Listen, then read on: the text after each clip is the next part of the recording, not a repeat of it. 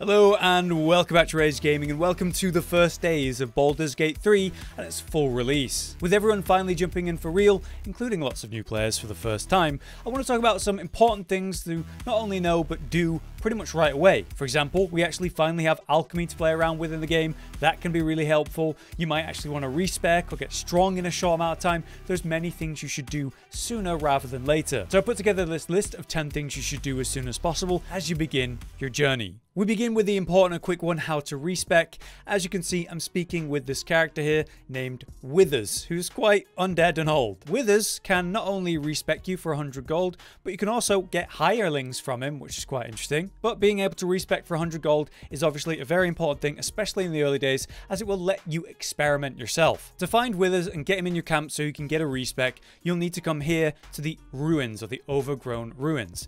This is to the east of the roadside cliffs waypoint, if you've got that, or behind the ancient door on the beach at the very beginning of the game. Now inside the ruins you'll find a centerpiece main room at the northern point with the statue and some light coming in and as you can see there's skeletons that will attack you when you go here.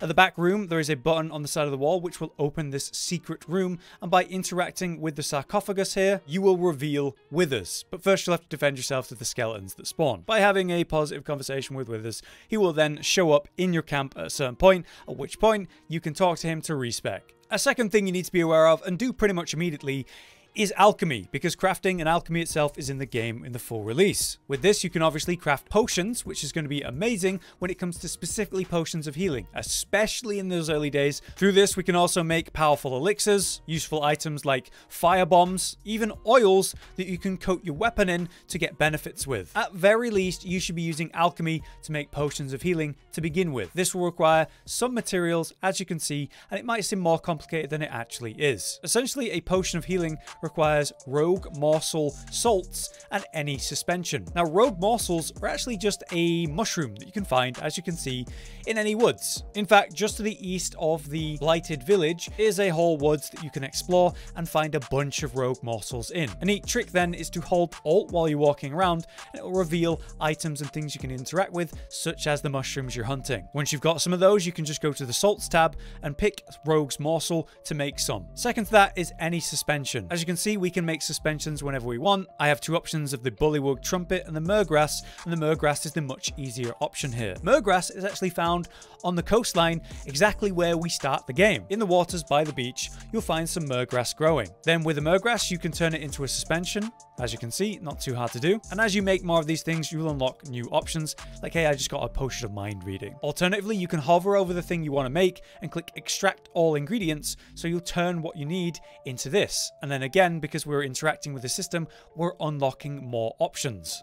For example, now we've got Potion of Healing Greater, which is much better, which requires some ashes and some more salt to make. But to begin with, anyway, we have our Rogue's Morsel and Suspension, so now we can craft some potions, like so, and this is so good because these from a vendor will cost, say, 100 gold or more, whereas this is costing us nothing at all. So a very important thing to know and do as soon as possible. Now speaking on gold, here is a quick tip, especially in the early days, and it is to loot everything. If you open a chest, a barrel, whatever, there's a chance there's going to be junk inside of it. Many times that will be food, which is great for long rests, but it'll be like, say, a rag or something you can sell in general. Once you have a pile of these things, you can take it to a vendor and just sell them all and get your first hefty pile of gold. The thing is, from any point, you can take any item in your inventory, right click it and choose send to camp, and this will send it to the chest that is in your camp. That chest is massive, seemingly endless and we can store everything we want in there to then pull out whenever we want to go vendor. So there's no loss as to carrying it around because you don't have to carry it around weighing you down. It just goes straight to your chest. Do this enough in the early days, which really doesn't take much. And very quickly, you've just got this pile of gold to spend. This is how I reached my first 1000 gold on my first day of playing. And at that point, you're able to buy equipment that you might want, more potions perhaps, or you'll have that 100 gold to respec whenever you need it. Next on the list of things that you'll want to know and do ASAP has got to be your companions. I have my little group here, my party of my selection, but if you don't go and find them and interact with them and unlock them as companions, well, you can't have them. There are six companions you can get in Act 1, so here's the location of all of them. Firstly, on the beach where I'm standing next to this ancient door, on the beach that you crash land on, in fact. Head north and you'll come to the ancient door. Here you'll find Shadowheart and you can speak with her and have her join you. She's very easy to get and an incredible early game companion as a sort of heal bot and buffer. Next we have Astarion, who's another one we can get right at the beginning of the game, and he's also incredible as a rogue with stealth. It's so valuable. Astarion can be found here on the west side of where you begin the game in between the crashed ship. Simply walking over here, you'll interact with him and very quickly you can convince him to join you. Just northeast of that, we can get our mage, our wizard, we can get Gale who is quite literally in the waypoint, the fast travel waypoint of the roadside cliffs. So he's going to be a very hard one to miss because you want to touch the sigil to actually unlock the waypoint. Next we have Lae'zel, who will be found in a cage here, currently caught by tieflings. This is just north of the roadside cliffs waypoint, very close in fact, and you'll need to get her out of here, hopefully without combat ideally. She'll join you without much convincing considering the situation. Companion number 5 will be found here, which is just in front of the Emerald Grove, the Druid faction. This is just north of the roadside cliff waypoint, just beyond where we just got our last companion. Keep heading north and you'll hit this immediately, where you'll encounter a goblin attack on the town. Within this cinematic, Wyll will actually show up and you'll help him, but you'll need to actually go inside the grove after defeating the goblins, who you'll just find if you follow this north road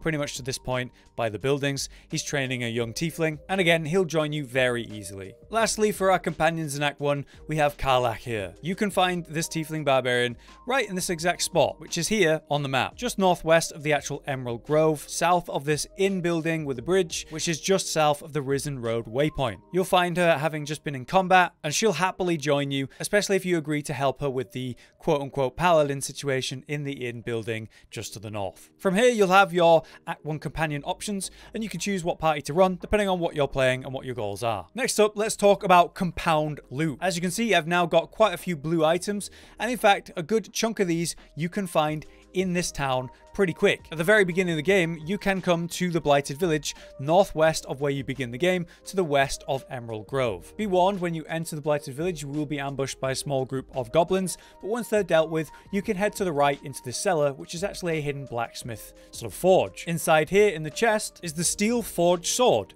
a one-handed sword that deals 5 to 10 damage, that has a plus 1 weapon enchantment on it. To get this early will certainly help you with your damage output, and can be great in a number of characters who can use a sword. In the middle of the town is a moss-covered chest though, and when you unlock it, you're going to find the Haste Helm. The Haste Helm gives you the smooth start bonus at the start of combat. For three turns, you gain momentum, meaning you can move a little bit further than normal. Great for melee characters who want to arrive at a target as quick as possible. Heading just west of that is a windmill, and behind the windmill is a trapdoor.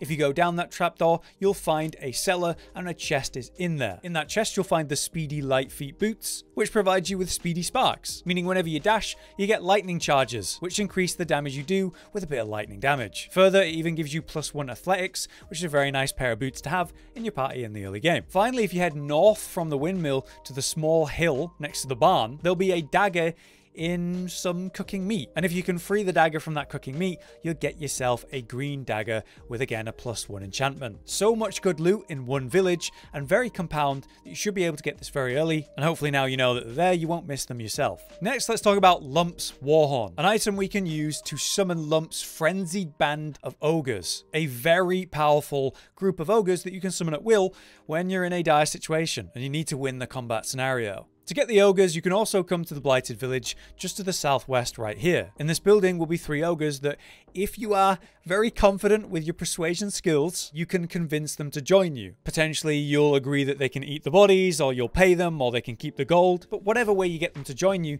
you'll then have the Warhorn to summon whenever you're in a tough fight. This can be unbelievably helpful in the early days when you're underleveled and facing something a bit deadly. The thing is, you can summon them multiple times, up to three times, as long as you can keep convincing them them to come fight for you again, although do be careful you don't push your luck too much. Our next point is also in the Blighted Village. This one's a big one though. In the shabby wooden doors into the blacksmith's forge and the underground cellar, you can loot this wooden chest, and it'll have a blueprint a masterwork blueprint for some weapons. This leads to Suzerain weapons, which are, as you can see, incredible. They're blue weapons with reasonable damage, but most importantly, a passive where they silence targets on hit, meaning those affected cannot cast spells spells with any verbal component to them, which is incredible when dealing with spellcaster enemies. I used this when facing the hag, and oh my god was it helpful. However, be warned that this will require you to go to the Underdark, which has enemies of level 4 and even 5 in bad scenarios. But fortunately you can avoid all of them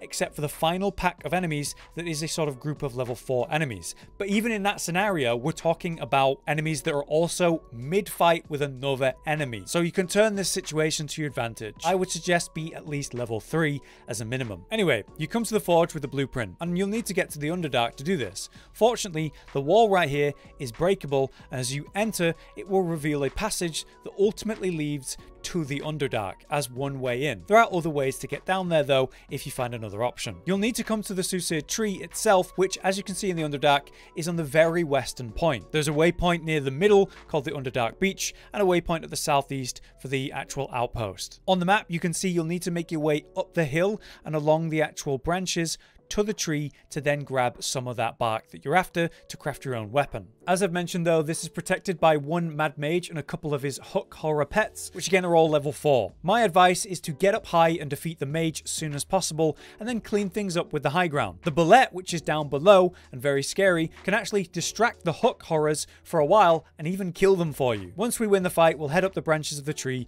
and make it to where we can grab some of that bark. With the bark in hand, we can then go back to the blacksmith cellar and forge our weapon. To do this, you'll need a common weapon as a baseline, and of course that tree bark. Put the bark into the forge and you'll turn the flames blue.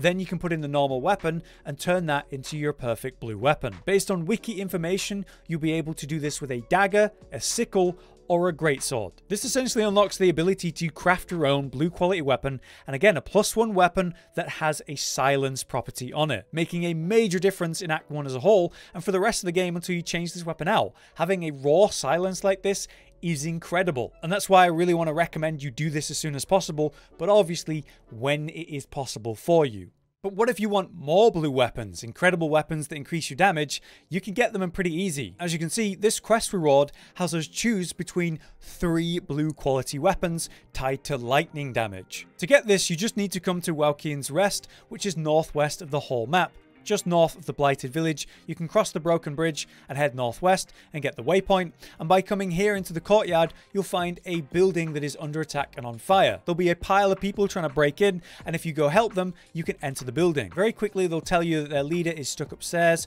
and you need to help them. So head up the stairs immediately. You'll need to cross over to the other side of the rooms and break the door that is trapping the leader. But you should be able to do that without too much problem. Exit the building with the group, and just like that, you'll be given given the reward for saving her life. A choice of three incredible weapons, which personally I chose the Jolt Shooter as an incredible ranged weapon that is getting lightning damage on those ranged attacks. Next, let's talk about Scratch the dog, who is a very cute companion and a dog you can get in your camp. But more than that, he can actually be a useful summon. If you summon him out of combat, he'll actually find items for you, which is pretty neat. To find Scratch the dog, you'll need to come here to the woods, which is just northeast of the Blighted Village. You'll find a body which Scratch is protecting. By interacting with Scratch and calming him down and making him trust you, you can have him smell you so that he can actually identify your smell and follow you back to your camp. From then on, he'll appear in your camp and you can interact with him and pet him. If you find a way to speak to animals though, such as drinking a potion that can give you animal conversation skill, or maybe have an ally that can just do it, you can make friends with him to a higher degree. With enough time, he'll even have a ball that you can play fetch with. Basically, you improve your relationship with Scratch, and eventually he will become a summon that you can put on your bars and pull out, and hey, have him in the open world, which is not only neat, but useful because again, he will find items for you. Also, I imagine he's going to be a very popular companion, so why not? Finally, our ironic last thing that I think you need to do straight away is do whatever you want and when you want. I don't think you need to rush this game, especially big picture. It's going to be an incredible long-term experience. My advice is if you can avoid save scumming everything that ever goes wrong, you'll actually end up with a unique and fun journey, which in turn means you can replay the game and make different characters on a new class and character and have a different experience. After all, when it comes to Act 1, you're probably going to want to be at least level 5 before you move on as a concept, so take your time and enjoy it. I hope these tips can help you have a smoother initial experience, but there's absolutely nothing wrong with doing it in totally different orders and different ways. For now though, I do hope the video was useful and you learned something. And if you have any other bonus tips to help people in their initial days of playing, you can drop them in the comments. For now, I've been Hollow, you've been you, thanks for watching, we'll see you next time.